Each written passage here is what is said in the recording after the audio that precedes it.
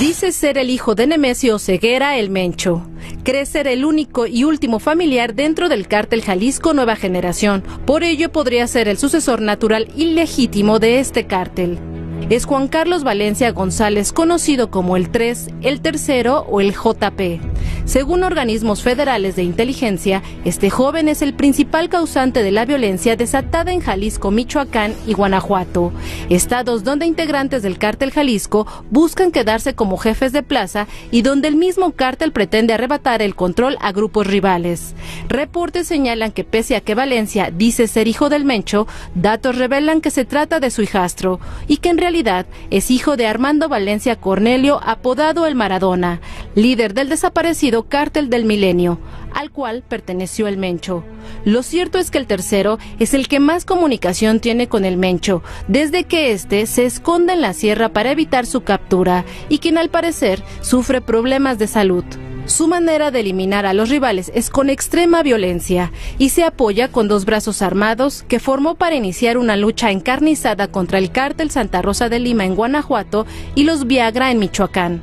Cobró relevancia desde la detención en enero de 2014 de Rubén Ceguera González, el Menchito el hijo legítimo del Mencho y quien en esa ocasión quedó libre, pero volvió a ser capturado en otras dos ocasiones a finales de 2014 y 2015. Actualmente el Menchito está recluido en el penal federal de Hermosillo, donde busca evitar su extradición a Estados Unidos. Ante este panorama, el tercero se ha convertido en pieza clave del cártel Jalisco. Su grupo denominado Delta, que opera en Michoacán, está relacionado con el atentado en contra del ex fiscal Luis Carlos Nájera ocurrido en un restaurante japonés en Guadalajara el 21 de mayo de 2018.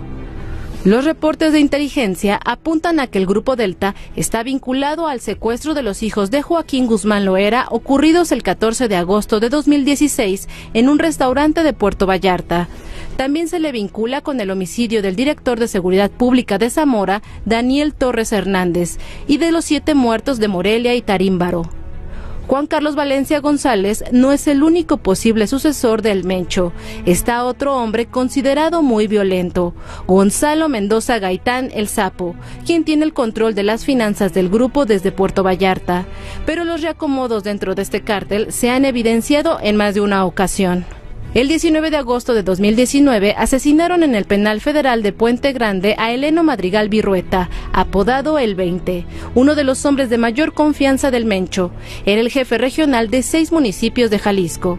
También el propietario del rancho Los Pinos, ubicado en el poblado de Tecomates, utilizado por el Mencho, donde en 2015 fue derribado un helicóptero de la Fuerza Aérea Mexicana.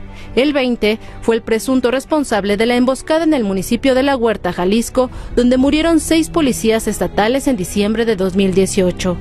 Otro jefe de plaza del cártel Jalisco fue asesinado el 31 de julio era Martín Arzola Ortega, alias el 53, operador de los Deltas en Zapopan, considerado uno de los mayores generadores de violencia en esa zona. Controlaba la venta de droga, adquisición de armamento, extorsiones y cooptación de autoridades. Y es que en la zona metropolitana de Guadalajara se mantiene una disputa por el control de la plaza entre los Deltas y una banda local conocida como el Cártel Nueva Plaza. Otros ajustes de cuenta se evidenció el 4 de mayo de este año. Edgar Alejandro Herrera Pardo, alias El Caimán, llegó con graves heridas de bala al Hospital Centro Médico Puerta de Hierro. Al responsable del cártel Jalisco en Tijuana lo atacaron en una fiesta en Zapopan, donde sicarios dispararon contra los invitados y secuestraron a Héctor Manuel Morales Guzmán, el gallero, jefe del llamado Cártel Tijuana Nueva Generación que en realidad es el brazo del cártel Jalisco. El gallero coordinaba la eliminación de células antagónicas principalmente de los remanentes de los Arellano Félix. Recibía órdenes directas del Mencho. Está desaparecido desde ese día.